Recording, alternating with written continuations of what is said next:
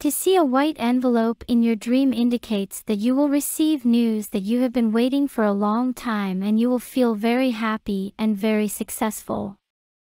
The white envelope also means news that will put a smile on the face of those waiting for the exam result. The white envelope, which is also the harbinger of the weddings of loved ones, is also a sign of an important offer to come to the person. Finding a white envelope in a dream.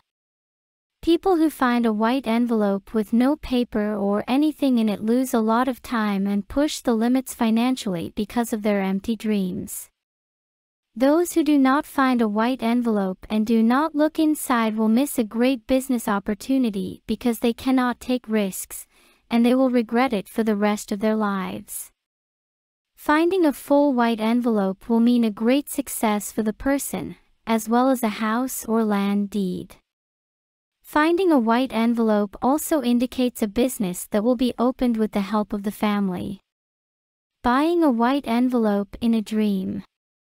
It indicates that you have very big goals and targets for the future, so you will make the right use of every opportunity that comes your way, and take the right steps without losing the chance that comes your way. Buying a white envelope also indicates a valuable real estate to be bought. It indicates sitting at the wedding table for single men, buying a house for married people, starting a new life, moving. It also symbolizes people who are trying to get into trade and trying to set up their own business.